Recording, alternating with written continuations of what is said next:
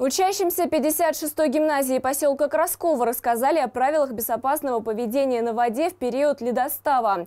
Профилактическую беседу с детьми провели сотрудники МЧС. Также в рамках мероприятия на Красковском карьере состоялись спасательные учения. Соблюдать правила безопасности на водоемах необходимо не только летом в период купального сезона, но и во время заморозков, когда вода постепенно превращается в лед. Жертвами ледостава зачастую становятся дети, которые находятся на опасных объектах из-за любопытства или озорства.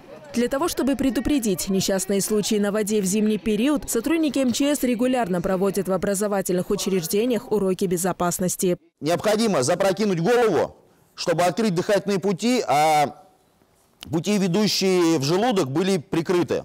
Но перед тем, как оказывать первую медицинскую помощь, нужно спасти тонущего человека и суметь извлечь его из воды.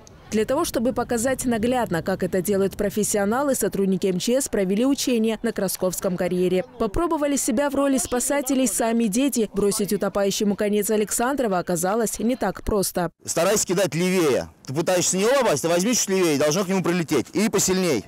Для того, чтобы извлечь пострадавшего из воды, можно также использовать любые подручные средства. Это могут быть шарфы, ремни, лыжные палки, впрочем, все что угодно, за что может схватиться утопающий. Кроме нас, э, по безопасности на воде никто занятий не проводит, насколько я знаю. Там, если урок уже проходит, то у них, естественно, это проходит там в каком-то определенном возрасте, в каком-то определенном классе. Мы стараемся охватить всех учащихся и всех школьников, дошкольников. В ближайшее время в столичном регионе ожидается похолодание и обильные снегопады. Сотрудники МЧС призывают и взрослых соблюдать элементарные правила безопасности на водоемах. Ведь кроме детей на образовавшийся лед, как правило, торопятся выйти любители зимней рыбалки.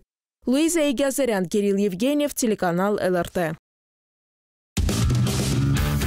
Всем привет, я Луиза, вы смотрите телеканал ЛРТ. Подписывайтесь на наш канал на YouTube, ставьте лайки и комментируйте. И вы будете в курсе самых интересных событий.